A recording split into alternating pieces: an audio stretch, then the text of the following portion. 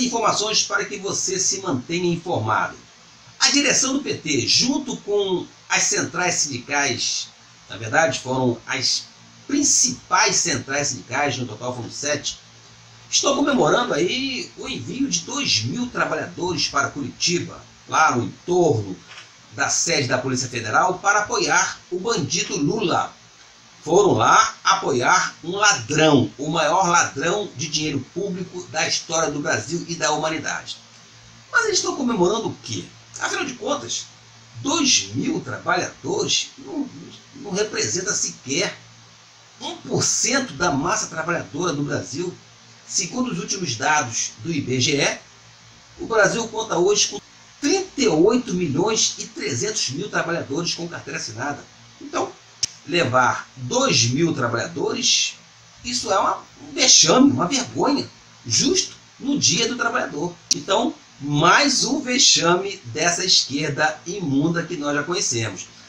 Isto sem contar que aqueles 2 mil que lá estão, a maioria foram pagos, receberam aí 30 reais, mais pão com mortadela e mais kitzinho para pendurar na cintura, com a promessa de que Lula vai voltar ao poder.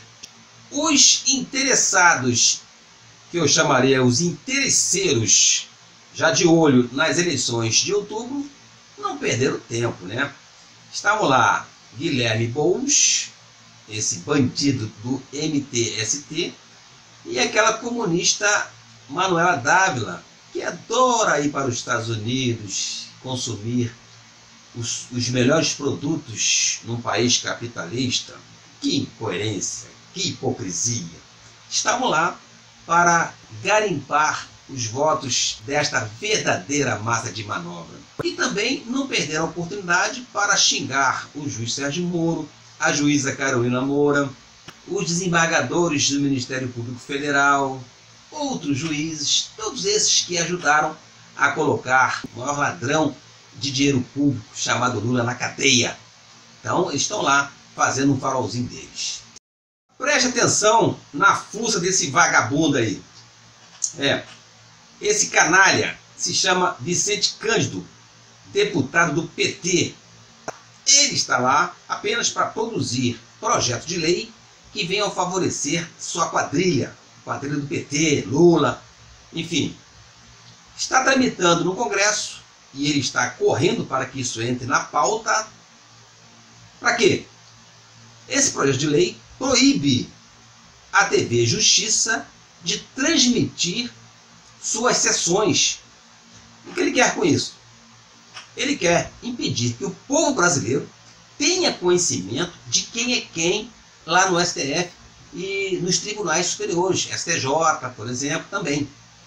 Este safado está querendo impedir que você, que é um brasileiro de bem, tenha conhecimento, saber qual ministro está votando a favor do Brasil, qual ministro está votando contra o Brasil, enfim, quem é quem ali na Suprema Corte saber quem está a favor da moralidade no Brasil e quem está alimentando a corrupção.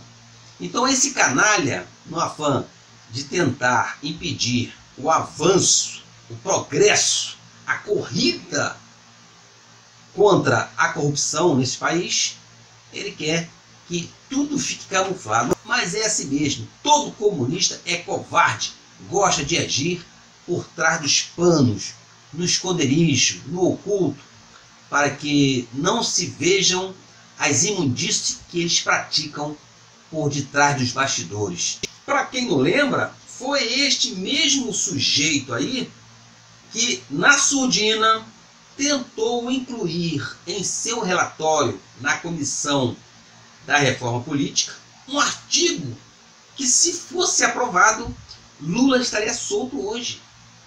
Por quê? porque previa que nenhum candidato fosse preso oito meses antes das eleições. Quer dizer, Lula foi, foi preso agora, mês passado. Segundo a intenção deste vagabundo, o prazo terminaria em janeiro. Então Lula estaria solto. Olha só como esse camarada não vale nada. Um vagabundo. Não reeleja Vicente Cândido do PT. porque ele é um perigo para o Brasil. Faz parte da quadrilha de Lula. Agora uma denúncia.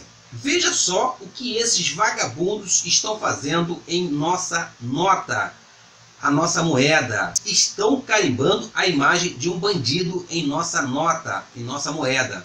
Então, se você receber um dinheiro com essa imagem, não aceite, porque não tem validade. O Banco Central já disse que não vai aceitar nenhuma nota com o carimbo deste vagabundo.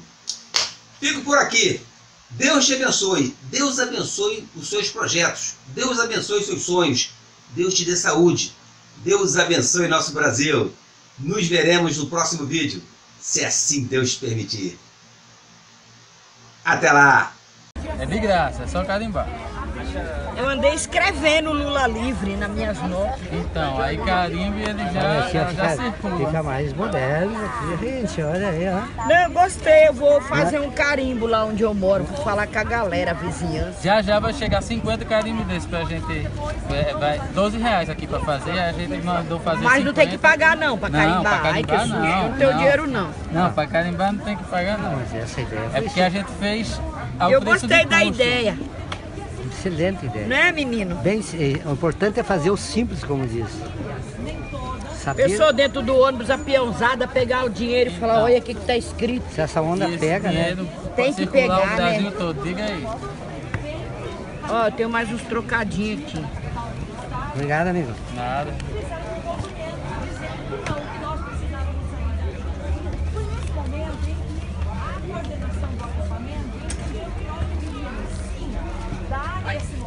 Mas só...